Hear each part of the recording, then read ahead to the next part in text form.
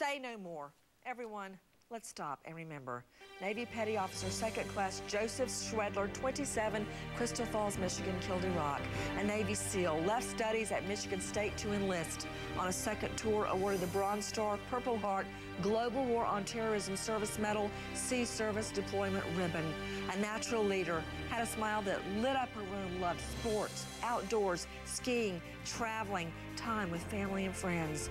Leaves behind parents Joseph and Susan, sister Kate, brother Tom. Joseph Schwedler, American hero. Thanks to our guests, but especially to you for being with us. And thank you to South Carolina.